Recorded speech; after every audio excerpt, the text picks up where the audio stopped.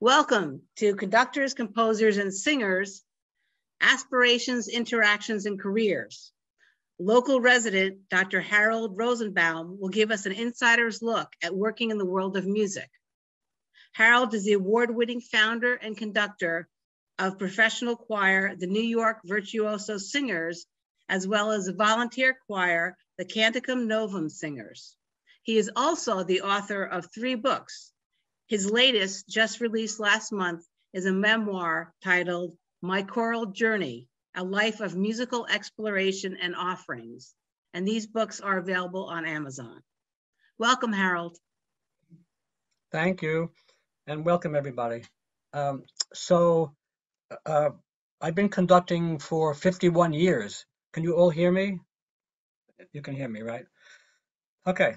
And uh, as you can imagine, I've had a lot of interesting experiences, both here and abroad, and and and I have had the great pleasure of working with um, many, many, many composers. I would say, literally, without exaggeration, I've probably had over 500 composers come to my rehearsals, uh, like the dress rehearsal when I'm doing their piece, and um, I've, you know, obviously I've collaborated with many conductors. Well, maybe it's not obvious, but um, I'll explain uh, about my personal experiences. I'll, I'll, talk about my personal experiences with singers, um, mostly soloists, people I've hired, um, and about my interactions with uh, composers and conductors and the, their interactions with each other, which is even more important, which is sort of like what this uh, lecture is about. And I'll also I'll give some historical context. Uh, now you can just sort of Google or read about a lot of what I'll be talking about, but I think it's nice to just bring up some of the historical um, facts and uh, interesting things while I'm talking about um, my life. You have to excuse me. I'm I'm uh, I'm fine, but I had COVID two weeks ago, and sometimes I get a little cough. Um, I'm fine though. So, um,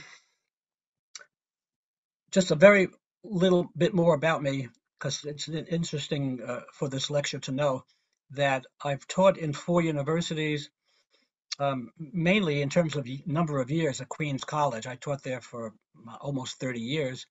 And then I was at the University at Buffalo for 19 years. I was at Juilliard one year and uh, at Adelphi for two years and I've uh, conducted uh, I don't know something like 1,800 concerts. So um, and and I've commissioned composers. I've commissioned 120 composers, and every piece I commissioned, I performed as world premieres.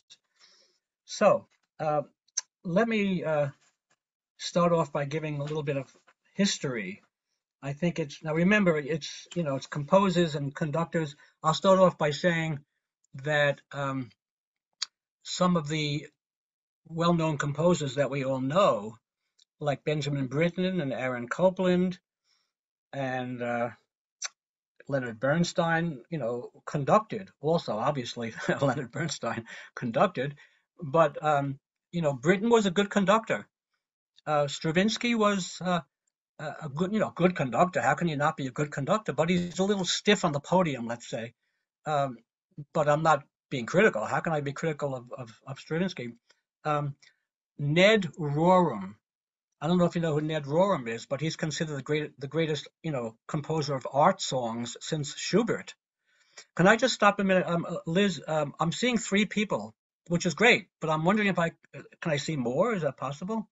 How is that? How does that work? Oh, maybe I click on View, Gallery. I don't know. Anybody know?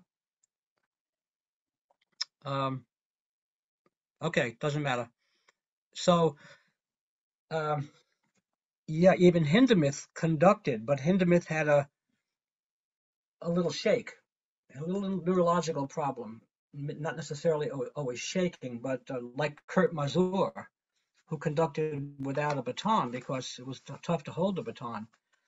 Um, and uh, people, you know, cope with that. Who's going to tell you know, Hindemith that they'd rather he didn't conduct, but that he played with them. But I actually know a story by Sam Adler. Now, Sam Adler, um, he was he's like 95 now, Pulitzer Prize winner, one of the great teachers, one of the great pedagogues of the 20th century.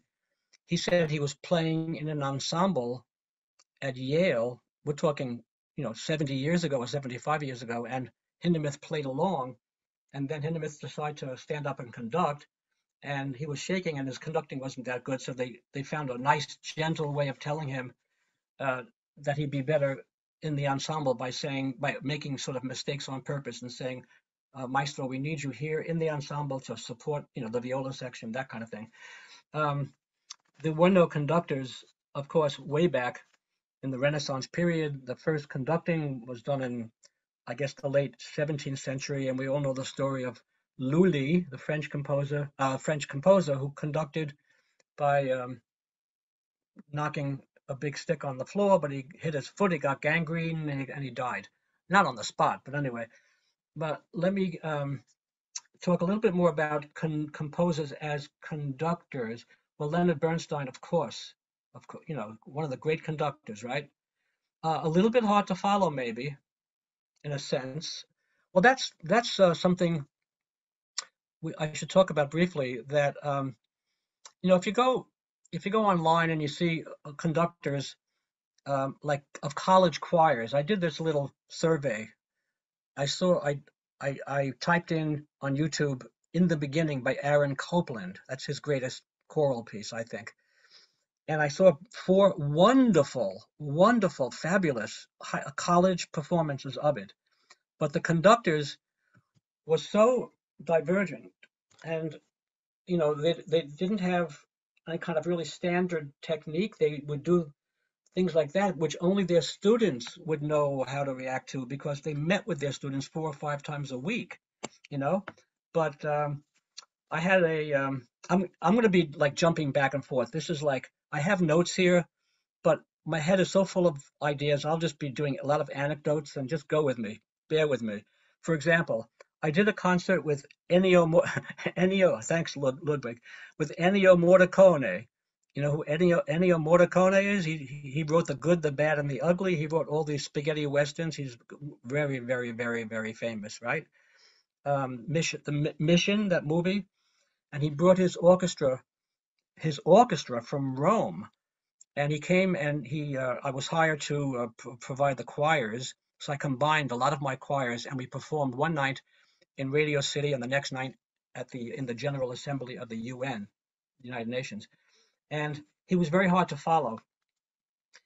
My singers complained to me, so um, I decided, okay, I'll make believe I'm turning pages for the pianist. And I was all the way on stage right. And the singers knew to sort of angle a little bit towards me, so I would, you know, stand there very carefully and, you know, doing this very, very small motions to hold it together. And he didn't he didn't know I was doing it. I don't think. I, I also, frankly, I, I also did that for one or two other uh, conductors, but I won't mention their names. They, they're so they were so sweet. Um, so you know, uh, it was really Mendelssohn who rediscovered Bach and conducted from a podium. But before that, you know, com composers and, and leaders of ensembles would sit at the keyboard like Mozart, you know, they sit at the keyboard and uh, or the first violinist would conduct. Even today, it's well known in my field that um, a lot of players who work with visiting conductors who they can't follow, they just look at the first violinist and they stay together by by looking at the concert master or concert mistress. Um, okay, interrelationships between composers and singers. Well, here's an anecdote I'll read to you from I got this online. Handel and the Battle of the Divas. How the rivalry between Handel's star sopranos and their fans led to fireworks and a right royal ding dong. Star singers were essential for the success of Handel's opera seasons, but sometimes they could be more trouble than they were worth. In 1722, he engaged the services of Francesca Cuzzoni.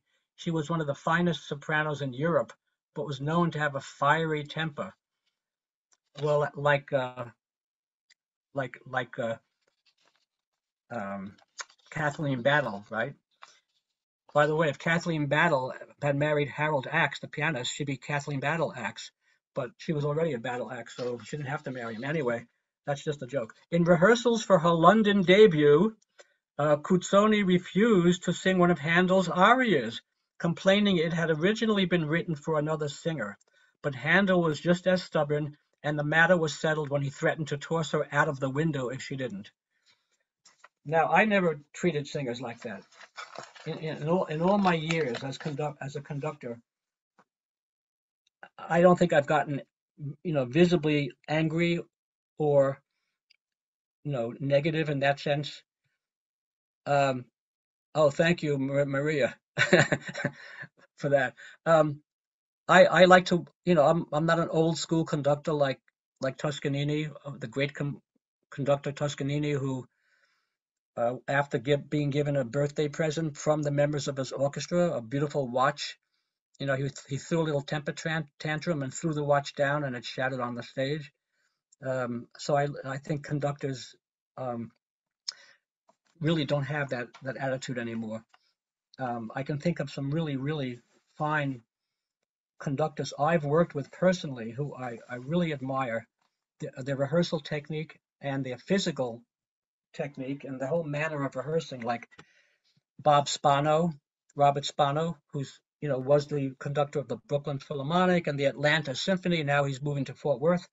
Uh, Sir Charles Mackerras, what a what a great person, so um, uh, together, so focused, and really great to work with. And Lukas Foss, Lukas was, you know, Lukas was in a friend of and came. I believe he, well, Lukas Foss was um, like um, Leonard Bernstein and Andre Previn, um, pianists, conductors, and composers. And Lukas was a lot of fun to work with. All right, let me tell you about some stories about in my life working as a conductor, working with composers, the interaction. So, as I said, I've commissioned composers, but I've also um, performed hundreds of pieces by living composers who are invited to my rehearsals. Uh, when I did uh, a concert, a tribute concert to John Corigliano, one of the really great composers, and his partner Mark Adamo, uh, I didn't know they were gonna, they were going to come to six out of seven rehearsals. Like they live down the street, and they decided to come to all my rehearsals basically. And uh, but they were so sweet, you know, and and um, they they would okay how can i put this a composer can only put so much in the score not you can't that's why you have you know umpteen different interpretations of beethoven's fifth for example. Either da da da da or dun dun dun da you know. There's just so much they can put in the score. So it's up to the conductor to interpret. And um, i've never ever had a composer at one of my rehearsals who didn't like something a little different that I did that they didn't think of to notate quite that way. Uh, so, you know, I, I respect them, they respect me, but I would never vary. Like I would never do something pianissimo if they write fortissimo. That's crazy. I would never do three quarter time if they write something in four quarter time, like the Star Spangled Banner it's in three quarter time, but I've heard it in four four time. You know, like uh, um, who's the the great uh, oh god the the woman uh, Whitney Houston who sang sang the hell out of the Star Spangled Banner before a, a baseball game, and but it was in four four time. oh, say can you see?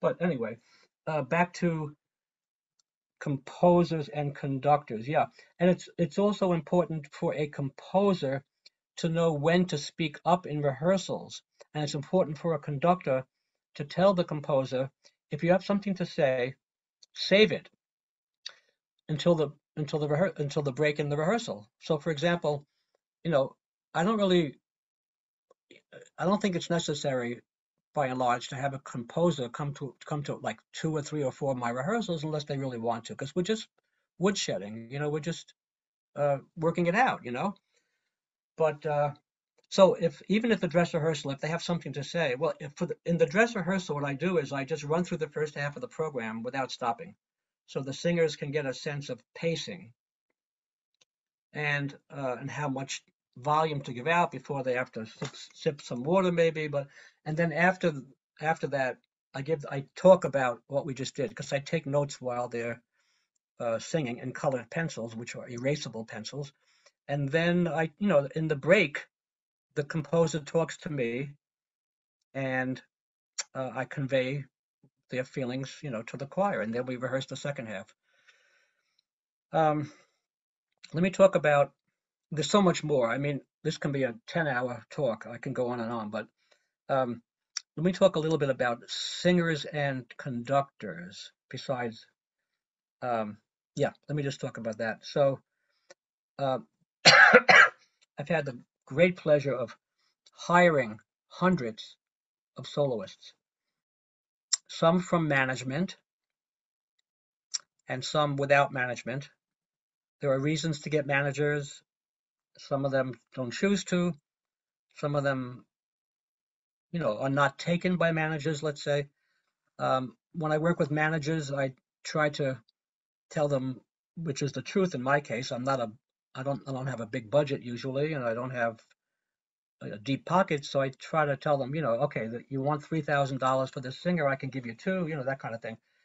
Um, in fact, in in the in the 1980s, I believe I've done the I've done the beam I've done the Saint John Passion of Bach five times, and one time I was trying to hire Sam Ramey as the, the baritone uh, to play the role of Jesus in the Saint John Passion. Now there are only 57 measures in this hour and 40 minute piece in which Jesus utters something. And sometimes it's like three notes, like four notes. so I'm figuring, let me just go for it. So I called his manager. His manager was nice. Sometimes they really stuck up, you know, but this one was nice. And I said, look, I know, you know, Mr. Ramey gets a lot more money than I can offer. Uh, I said, I can give him $2,000. So he said, well, Mr. Ramey usually gets 20,000 for a concert, for a concert, but I'll ask him. And he asked him, he got back to me like the next day. He said, you know, he would have done it.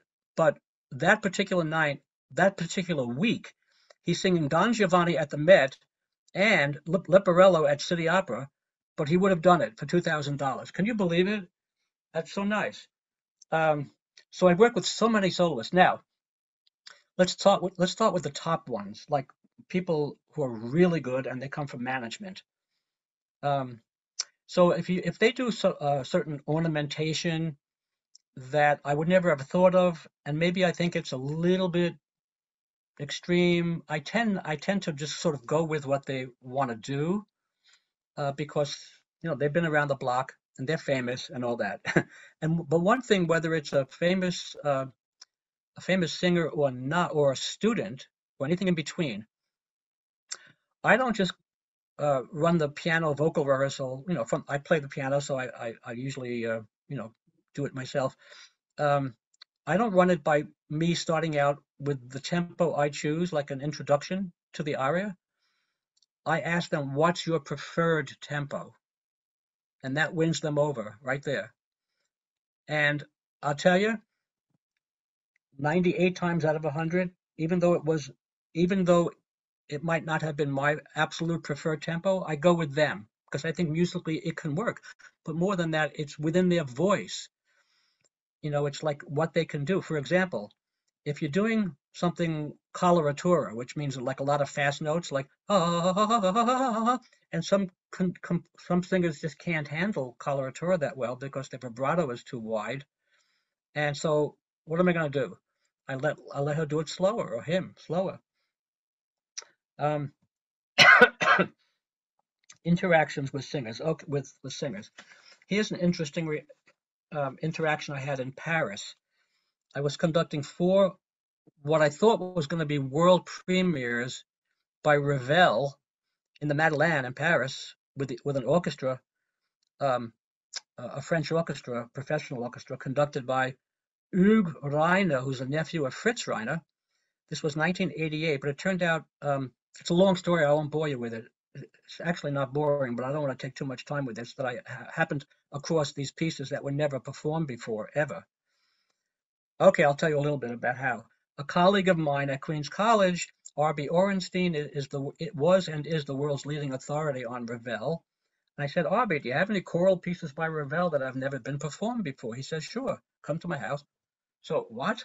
So he took a microfilm from the Bibliothèque Nationale in Paris. He speaks eight languages. He's unbelievable. And he showed he showed me a photocopy of these uh, Prix de Rome entry compositions. You know, Ravel never won the Prix de Rome, the P-R-I-X. Uh, he came in third, but but that's another story. He should have won it, of course. But he, he they lock you up in a room for a week, and you have to produce a cantata, a fugue, you know, all kinds of compositions. So um, yeah, it was never performed. It was never published. And I spent hundreds of hours copying over the parts from the from the full score. I copied over the flute part, the violin part, and I found hundreds of errors and smudges and things. But I conf uh, I conferred with Arbie and we figured out. Okay, so we're doing one piece, and the soloist, soprano soloist, was supplied by the orchestra which which they call the Orchestre de, de apostrophe Europe, um, which they um, the government of France organized in 1989 for the, to celebrate the 200th anniversary of France French independence. So um, you know, so Hugues Reiner conducted the Duruflé Requiem, which I trained my chorus for, and I conducted these four premieres. Oh, they weren't world premieres, it turns out, at the last moment, because a university in Edinburgh had performed them they also got hold of the manuscript and they performed them in March and I did mine in June. That's all right. We call them French premieres. So anyway, this it's it's June, right? It's June, it's hot, and the soprano soloist struts down the aisle in high heels and a, a, a mink a mink coat or something, with a heavy coat that she was wearing. And we only had one rehearsal with the orchestra, and she didn't know the music. And I gave it for her little solo, which was like eight measures long. And I tried it over and over again. And finally, I said, I'm sorry, goodbye. And I dismissed her on the spot. And I turned to my wife, Edie, who was in the soprano section in my Canticum Novum singers, and I said, You're doing the solo tomorrow night. There's no time to rehearse. Let's get go to the next piece. So that's, and she did it beautifully the next night. And we have that on tape, actually.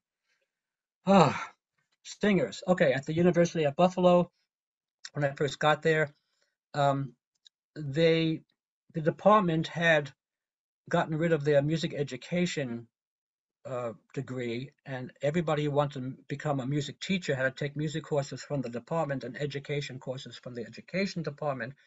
And I had succeeded.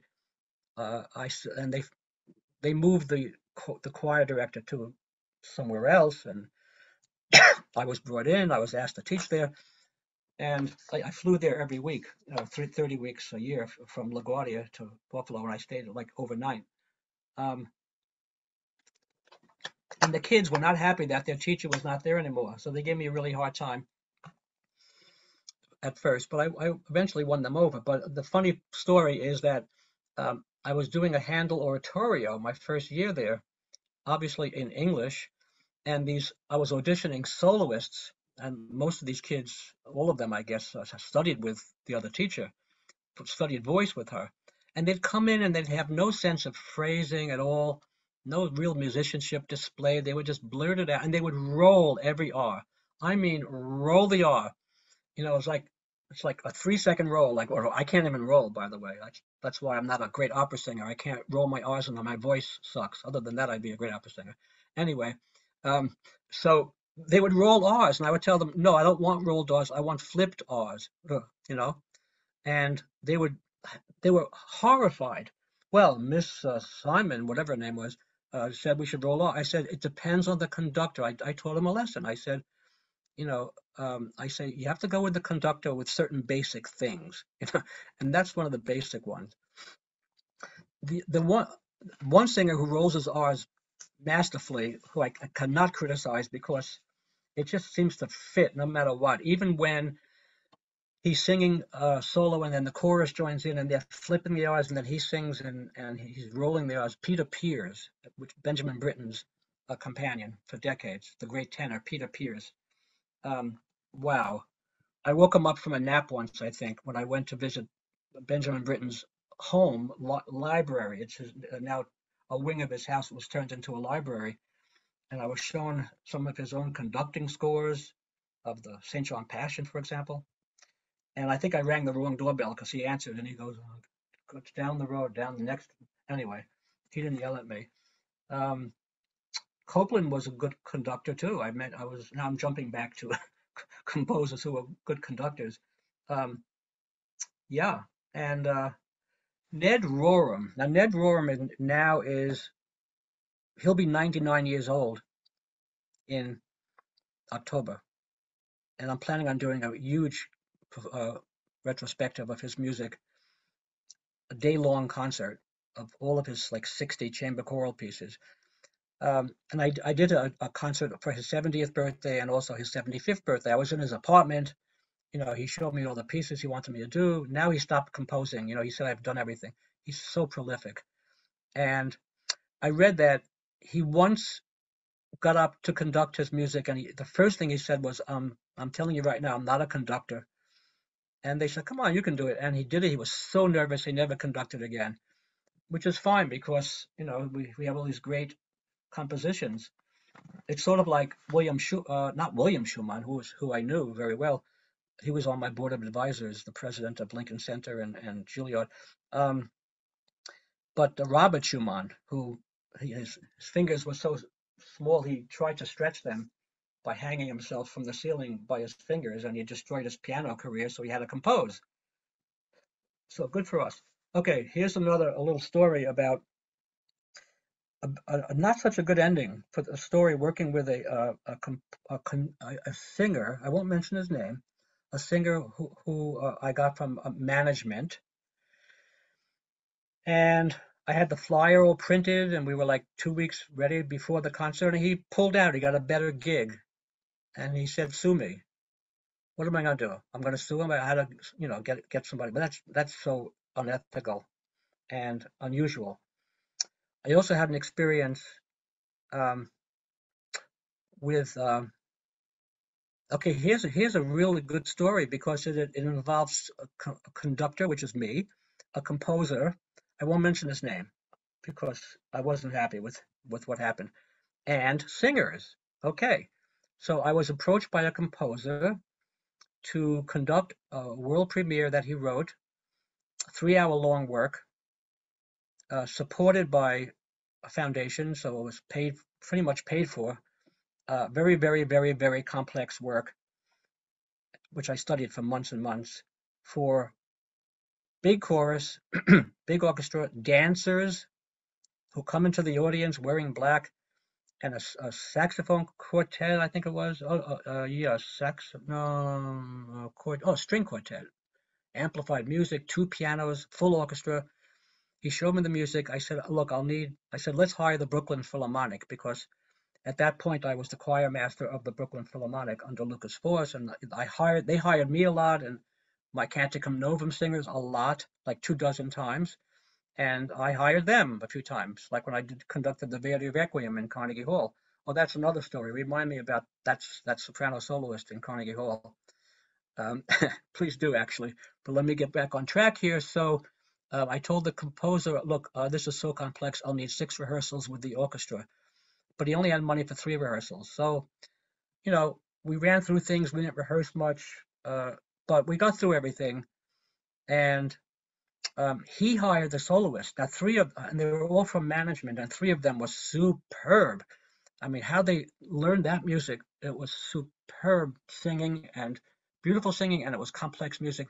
The fourth one, didn't know the music at all. Well, here's, here's another example. And the only time I had to rehearse with them, or I should say the first rehearsal, was um, Thursday before the Saturday concert. The first rehearsal with the quartet, with me alone, you know, piano vocal rehearsal, which was followed by two rehearsals with the orchestra and then the concert in subsequent days, he didn't know the music at all. I was in shock the concert was like three days away or two days away. I said, why did you even take on this role? He said, well, no, I said to him, like, why, why don't you know the music? He said, I didn't have money for coaching, to be coached. Now, why did his manager send somebody who's not a not a good reader and a good musician? He had a beautiful voice, but he has trouble learning music. So I called my dear friend David Arnold. David Arnold is somebody I had hired 30 times over 30 or 35 years, who happened to be free for the concert, and he said he would do it. And um, it's it's a lo- long story, but he he he did it. He did it. But I had to dismiss uh, that that that uh, singer on the spot there, and the composer was really unstable mentally. Let's put it that way. So he would come to the the rehearsal. The, he came to the dress rehearsal. I told him, look, David put himself in a hotel room and just to study music night and day. He doesn't have every single uh, word, perhaps, you know, uh, uh, there in his in his brain. Uh, because the the words were um, they weren't by a poet. They were like a scientific textbook, and the, you know, there was like it's like really good conductors I have worked with about, and that fast. He had they had to spew out these words that were like from a textbook, and he just couldn't do it all. He had perfect pitch. He learned the music, and he called me um, right before the concert. He said, "Let's meet at 6:30 backstage in Avery Fisher Hall." And I got there, and he had tears rolling down his face. He says, "I can't do this." I said, "David, do it for me. Do it for me, and do it for everybody." I said, "Leave out just leave out some measures. Just do it." And I told the com- com- composer not to come early, not to confront David, and he did. He came into the room while I was working with David to soothe him, and um, he started behaving badly. And I never screamed that loud or that long, but when he was poking me in the chest, the composer, I said, "Get your," and I started cursing at him, and he, I, I, I must have been really frightful because he ran, he, and he ran out of the building.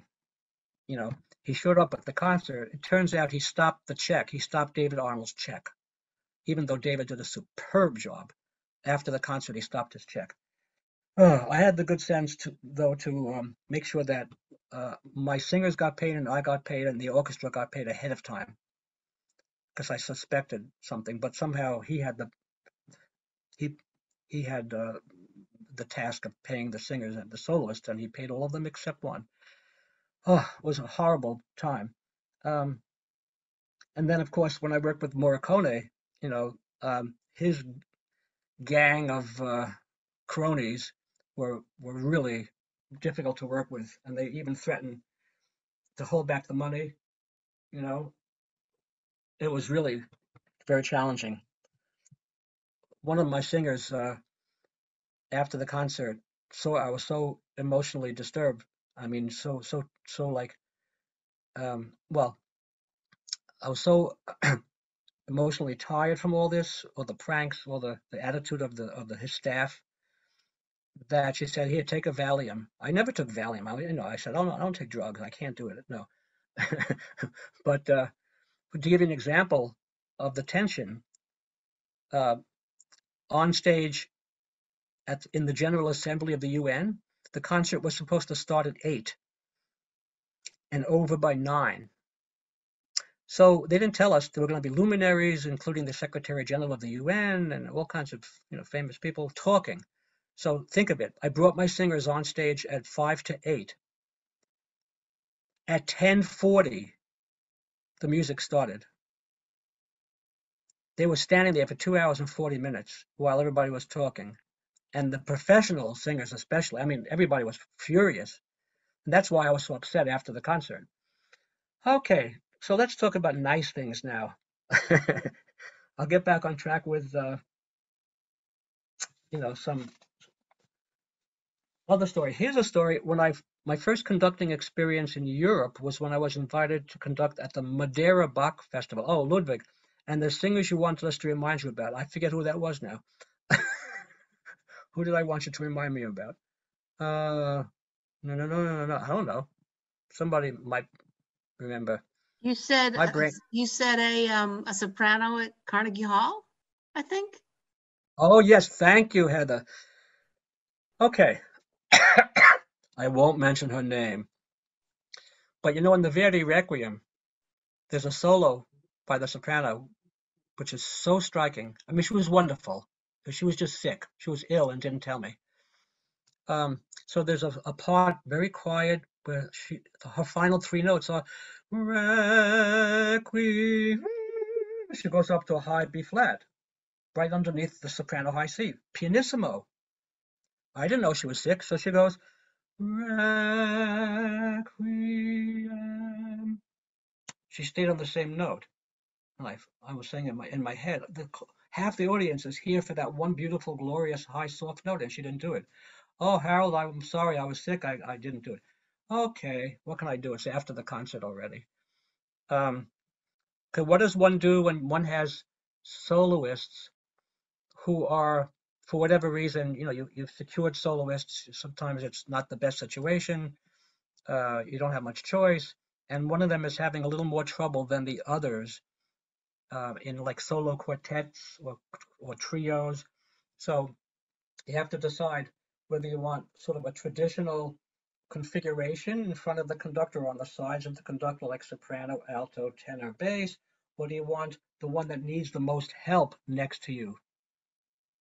And that's what I've done many times. I don't tell them why, but I figured this person might forget a note or go off, and then I'll just sing their note and bring them back in. I can't tell you how many dozens of times in my life I've had to sing notes to bring singers back in. Well, I'm talking mainly, you know, university choirs or you know lesser lesser choir lesser uh, level such situations. But yeah, you have to do that. So a conductor has to know the music that well you have to know each part. If the alto section goes off, the soprano section, you have to turn to them and sing their notes. I mean, these things happen. Um, so, um, okay. Commissions. When you commission a composer, you have to have a written agreement, obviously. And so, you know, I, I just finished a big project over the last six years, ending ending three years ago, where the ASCAP Foundation gave me money to give composers, and we commissioned 50 student ASCAP Young Student uh, Young Composer Award recipients. Now, most of today's greatest greatest composers won that award in their youth. So ASCAP gave me this, you know, boilerplate contract to make sure that everything uh, is in writing. Um, and uh, I told them I want a piece that's five or six minutes long. You know, one person came up with a piece that's 10 minutes long. I didn't, I wasn't happy with that because I was doing 10 pieces on one program. You want each one to be, you know, four or five or six minutes long, and then you have one that's 10 minutes long. Um, one time, uh, rather recently, maybe three or four years ago, I commissioned, I, yeah, it was a, a batch of them I commissioned, and one composer decided to write something that was so difficult, which is fine, you know, because my professional group can do anything and has, you know, done extremely complex music. But this piece, it went beyond complex. I mean, what's beyond complex? How about complex and undoable at times and not written very well? So I uh, I devoted, if I remember correctly, something like 11 or 12 hours to Oh, this was this was when I commissioned only five composers on that concert. So four pieces I devoted two or three hours rehearsing to, and his piece I devoted 12 hours to rehearsing to. So it cost me thousands of more dollars that I wasn't expecting to have to pay because it took so much rehearsal time. And then uh, after the concert and the reception, he, he never even came over to me like he did once. He'd introduced me to somebody, but a few days later I said, I won't mention his name. I love him. He's great. You know, he's very, very talented. I don't really fault him. But at the time I was feeling, you know, when you're when you get commissioned by a conductor and you're doing a performance with a professional choir and a public concert where critics come and you get a, an archival tape, the least you can do is go and say, "Great job, thank you." You know, I, uh, right, but you know, but he said, "Oh, I didn't even think of it." I, I said, "All right, I get you." He's very young, you know. a, another time, uh, this is really funny.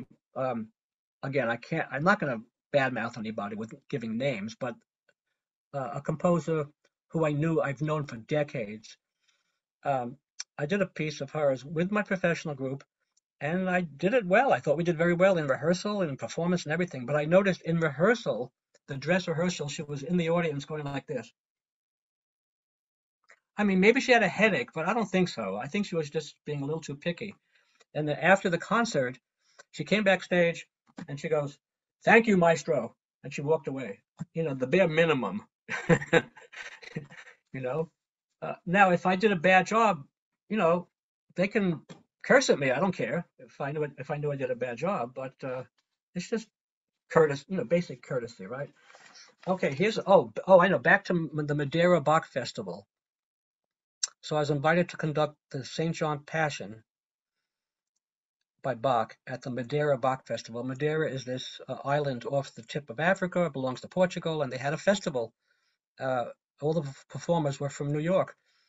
And they hired two professional solo tenors because one night the the the one of them would you know with careers and uh, one night one of them would do like the the role of the evangelist in the St. Matthew Passion, and then the next night, my night, the, the role of the evangelist in the St. John Passion. But one of them got sick, the other one got sick, and couldn't do the St. Matthew, so my guy did it in, in his place the night before. So he came to my concert. It's like a, a, a, a professional pitcher in baseball. You don't use a, a pitcher for two, two days in a row. You have to give him three or four days rest. He wasn't rested. And he sang beautifully, but he sang flat a lot in the first half of the concert. And here I am, this young conductor, and I, I said to myself, should I tell him? I said, yes, tell him. So I went to his dressing room and very carefully I said, beautiful job, but there's some flatting going on. And he didn't react well. He was very defensive. And yet he sang every note in pitch the second half. So he said to himself, okay, maybe I was flat. I'm tired, but I'll adjust. I'll adjust. I'll listen more carefully. So I, I was glad I, I, was, I told him, you know, I said it very nicely. Um, so Liz, I can go on, but and, and we have some time, but do you want, is this a time when we should ask if there are questions or what? Uh, y- yes, that's, that's fine. Um, and let me, um, I'll let people unmute themselves. Um, so if they have any questions, they can go I'd ahead. like and to see. I'd like to see people. I see 13 participants. How do I see people? Well, they have, they have their, they have, uh, Oh, put, uh, oh. Well, if you'd like, put your, turn your yeah, if video they'd on. like, so that's can- their choice. mean- They might be eating dinner. That's your choice. My They hair is in their mess, pajamas. excuse me. Yeah, but your hair is always, I'm only kidding. I like Maria. Maria came to all my lectures during COVID, and she liked your online le- joke. lectures. Yes. So, any questions? If not, I'll go on. Um, okay. Composer organizations. There are. okay, Uh, You have a question that just popped up.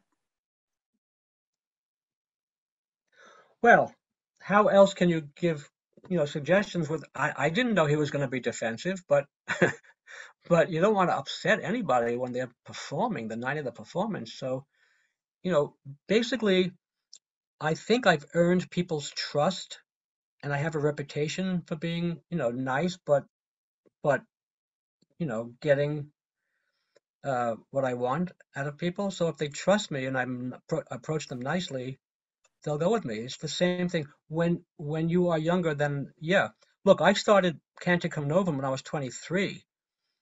I had a long ponytail almost down to my waist. I have this straggly beard, and you know I was like I wore a poncho with beads, and I started this Canticum Novum. And at at the first, I I auditioned 200 people. I only accepted 12. You see, I wanted a really really good group, and I got it, and we got rave reviews right away.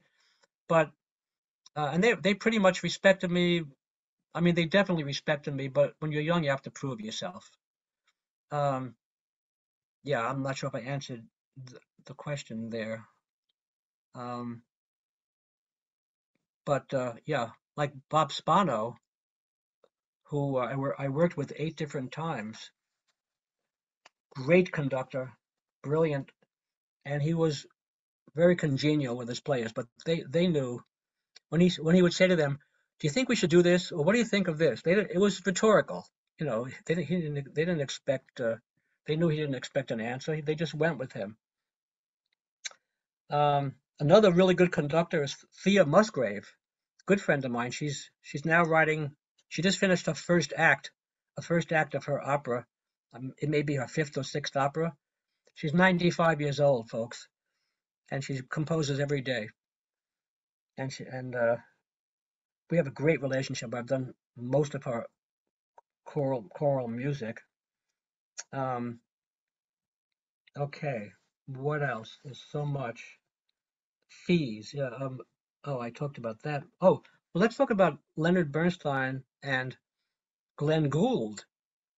Talk about interactions between conductors and performers. Glenn Gould was one of the great pianists, but and there's even a, a YouTube video about this, about the whole situation where he was playing a you know a harpsichord concerto on the piano, of course, with the New York Philharmonic, and they just couldn't come to terms in terms of tempo and you know the whole bit. That his interpretation was so different from Leonard Bernstein's, and Leonard Bernstein, before the concert, just told the audience very sort of diplomatically, let's say, that you know we're both uh, we both uh, have our opinions and we didn't quite agree on some things, and but here it is, and they just presented it. You might want to take a look at that. that that's an interesting situation. Uh, I know a pianist, Hélène Grimaud.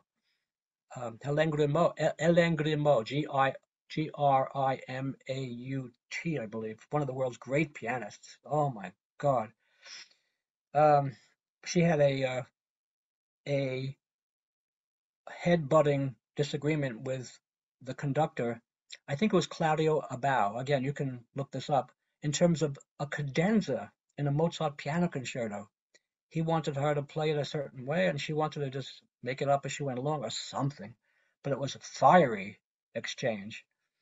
So that fits into this lecture because we're talking about interactions with conductors and, and performers. Well, she was not a singer, but she was a, a pianist. I had a situation once when I worked with a singer, um, wonderful singer, and I conducted the orchestra in the introduction to the aria in a Handel orator, a Handel oratorio. Now it was either Samson, um, Joshua. I did a whole bunch of Handel oratorios. So I, I set the tempo because that was a tempo we agreed upon in rehearsal. Hello. So I'm setting the tempo and he comes in like he goes one, two, three, like slowing down drastically right right when he came in. You know, because he wanted me to slow down with him. Well, I have three choices, I guess. I can just dramatically slow, or four choices, dramatically slow down to meet his demands, his vocal demands, you know, at the moment, or ease into it so that there's a little bit of a clash. You know, he's going a little too fast, I'm going a little too slow, or the vice versa. And we're meeting, it takes like five measures to meet. Um, we'll stop the concert and tell and just have words with him, we'll never hire him again, which I never did after that. But you know, how dare a, a, a, singer do that? Because I know that my tempo was the same as in rehearsal. Um, yeah. So uh, we could also talk a little bit about the um, composers today. Um, it's hard to it's hard to get works published. Yes, Lud- Ludwig. Quick question. Yeah. Is Yeah. it poss- is it possible that that singer just might have not have latched on to the tempo well enough? Um, No, no.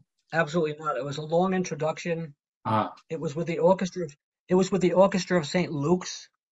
uh, It doesn't get better than that, you know. And he just decided to do his own tempo. I don't know why. Okay. But uh, I don't know. Um, oh, I'll tell you about when I commissioned 25 of America's leading composers to celebrate the 25th anniversary of my professional choir. I didn't have much money to spend. I raised money and for this purpose, but I only had an honorarium. Let's say I don't want to give the amount, but I, I approached you know John Corigliano first, and he he signed up, and then I started approaching others. But I was I was um, very careful to mention that John Corigliano has signed up. So the next guy said, "Oh, I'll sign up," you know. So I got you know John Harbison and and Augusta Read Thomas and Steven Stucky. I mean, it was uh, Chen Yi. I, it was incredible. Um, but you know, they were they were willing to do it for very little because some of them, some of those pieces were really complex, and they wanted to write for a, a group that could do very tough music. Um, yeah, I don't. I, I didn't even have a written contract with them, you know, because I have a reputation in the field for in for paying up. You know, I never screwed anybody in that regard. Um, one year I lost twenty three thousand dollars on, and uh, I was a mess.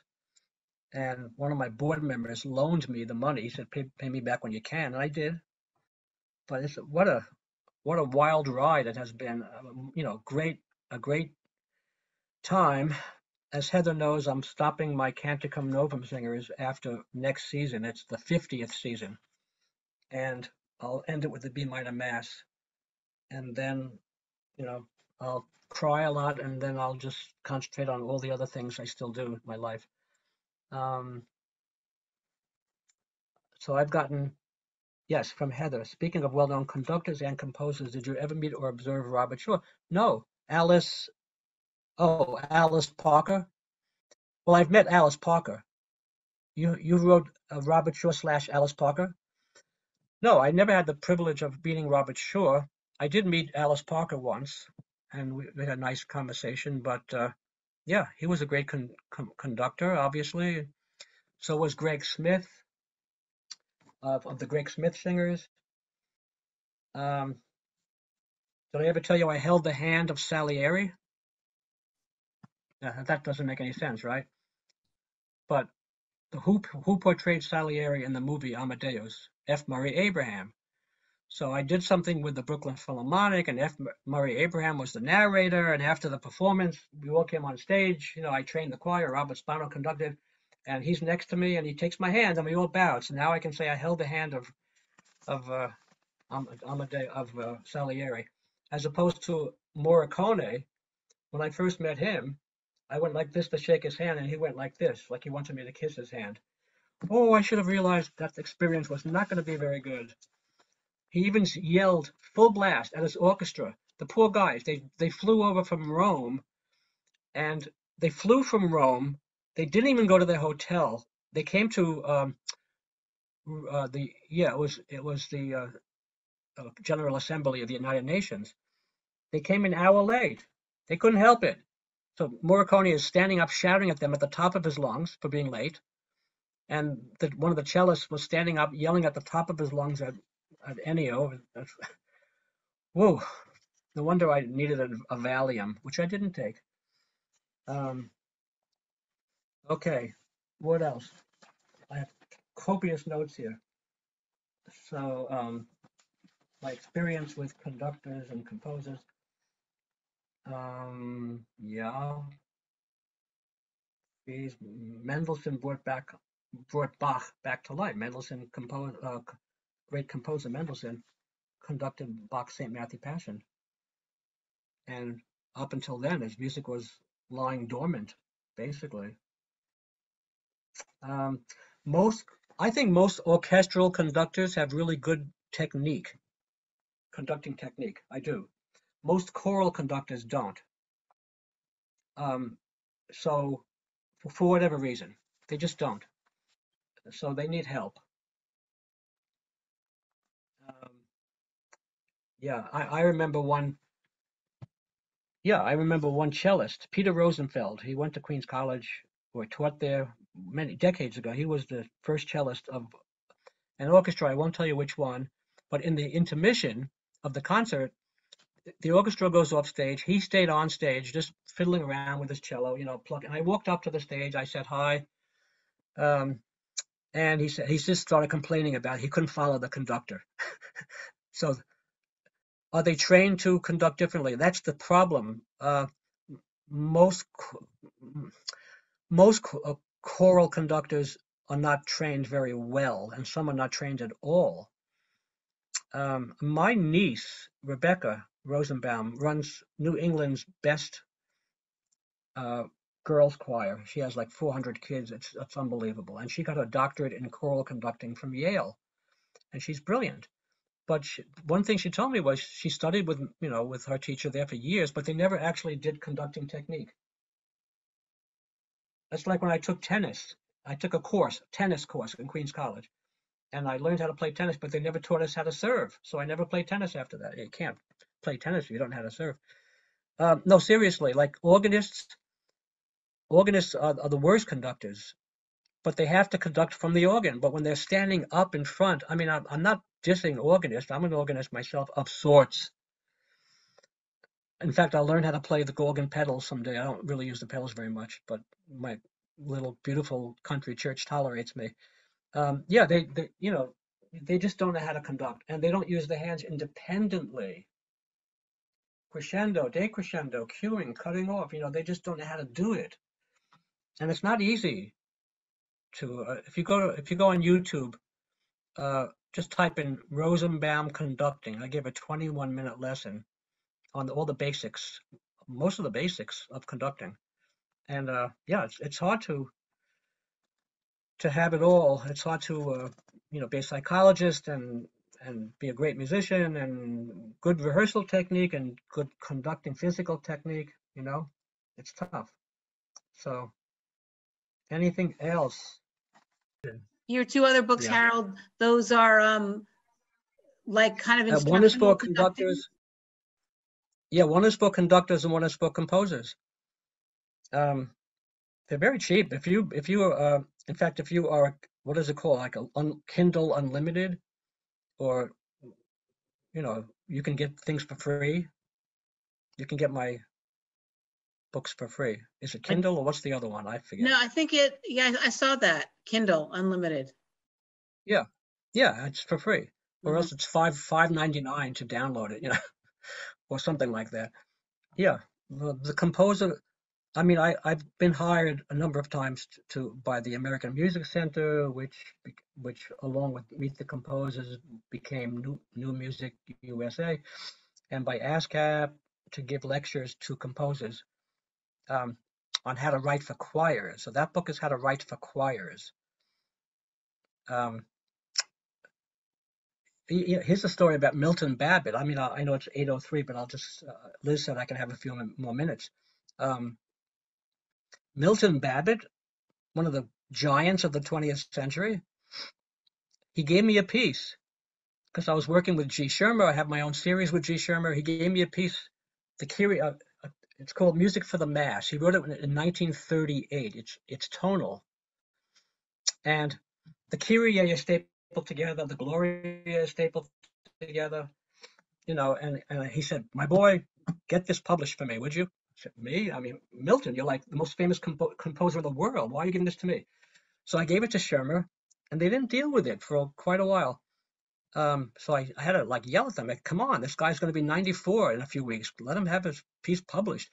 But anyway, I was busy, so I didn't get to it uh, for a week or two, and then I couldn't find the credo, the third mov- movement. You know, the Kyrie, the Gloria, the credo, the Sanctus, the Agnus Dei. Um, I couldn't find the credo, so I called him up. I said, Milton, that's Harold. He said, hi, my boy. I said, I said, I can't find the. cre- I didn't write a credo. I don't believe in credos. Right.